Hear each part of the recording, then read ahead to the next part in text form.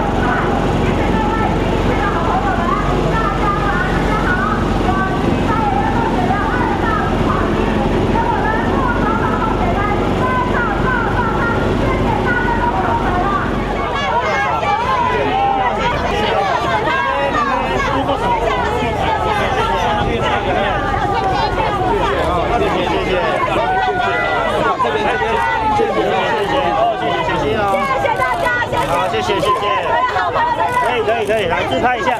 好，谢谢你，谢谢。啊，谢。谢谢。谢谢。谢，谢。谢小心哦，小心啊，小心后面，小心后面，谢。谢。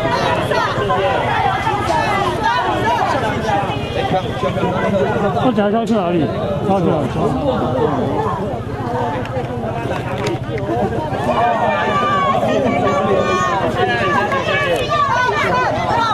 前面握个手啊，谢谢，谢谢。谢谢，来，好，谢。谢谢。谢，谢。谢，谢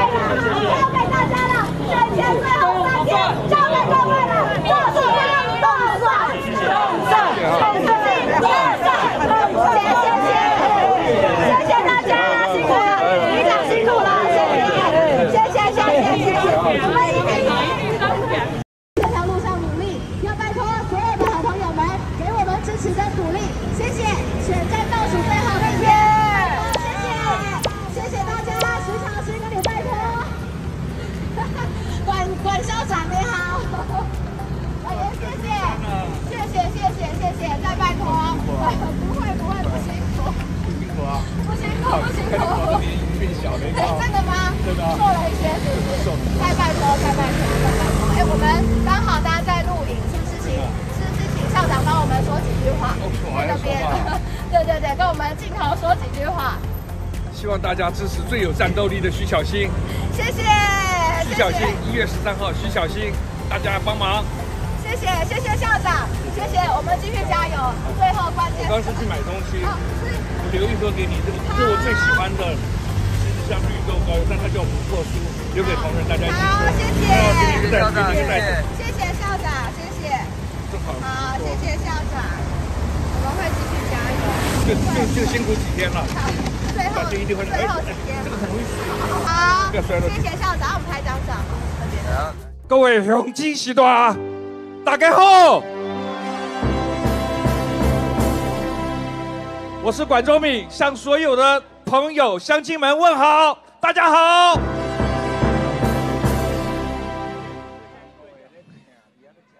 我今天很高兴有这个机会站上这个台子，大家可以想象，这是我第一次。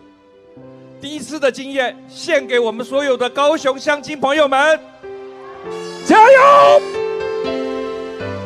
大家都知道，民主的精神就是人民监督，民主的制度就是人民最大有权做主，用选票决定谁是执政者，谁是执政党。那我们今天就要问：现在的执政党是什么个样子？大家一定跟我想法一样。现在的执政党就是个吃铜吃铁的党，现在的民进党吃铜吃铁，天上的光，天上的风，海里的船，地上能走的不能走的，只要有利益他们就要吃，这就是民进党，吃铜吃铁吃台湾。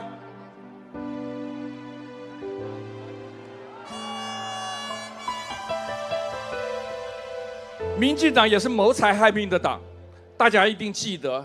他给你来猪，他给你来牛，但不给你有选择的机会。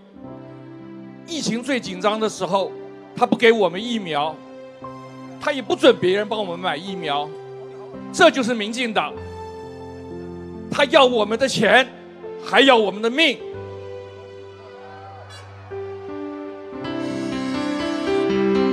民进党也是一个胡作非为的党，他抢夺人民团体的财产。大家想想看，农田水利会，他剥夺人民的权利。想想看，疫情中间不能回台湾的人民，他还迫害学术自由，倒霉的就是我。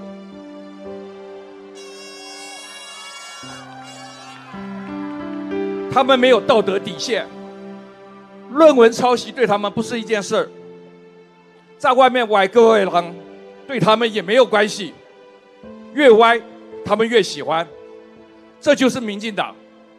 所有的坏事，只有他们想不出来的，没有他们做不出来的。可是这样子政党，人民对他们愤怒，你觉得他们听得到吗？告诉大家，他才不鸟你们呢。这样子的政党，如果继续在台上，他只会继续垄断台湾的资源，瓜分台湾所有的利益。这样子的政党，是不是应该下架？是。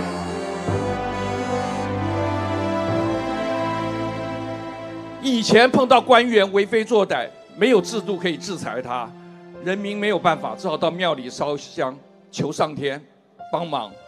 但现在不一样了，我们现在是民主社会，我们有选票，我们大家一起用选票让这群家伙滚蛋，好不好？好。我也可以跟告诉大家。有什么样的执政党，就有什么样的执政党候选人。刚刚我们提到的这些，吃铜吃铁、谋财害命、胡作非为，所有的事情，他们的候选人不是总策划，就是总指挥，或者自己是刽子手。我们要这样子的人当总统吗？不要。所以我今天在这边，就是为了支持一位正直、有胸襟、有勇气的总统候选人——三号侯友谊。三号侯友谊，领导人一定要正直，领导人正直，政府就会正直，就不会有刚才我们说到的吃铜吃铁、胡作非为的事情。领导人要有胸襟，有胸襟就可以广纳各方的人才，他可以集合众人的智智慧，这样我们的国家才有希望。有勇气的领导人，面对任何困难和挑战的时候，他不会犹疑闪躲，他会敢于挺身而出。这样子的领导人，是不是才值得我们信赖？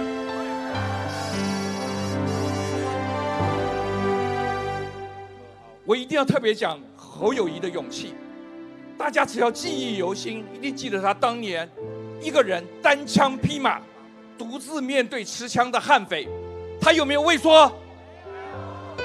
他为了民众的安全奋不顾身，勇往直前，这样子的人是不是才值得我们信任，值得我们支持？是。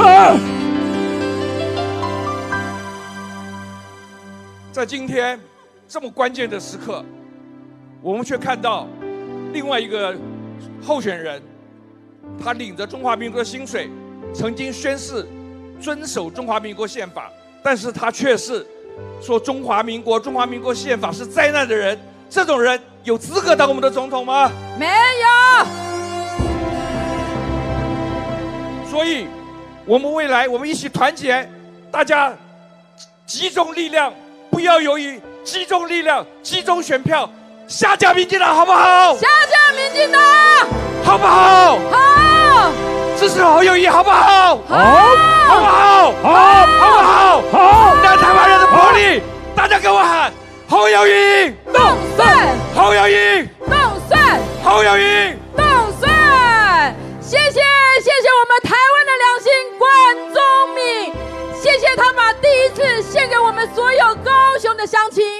我只有一个心愿。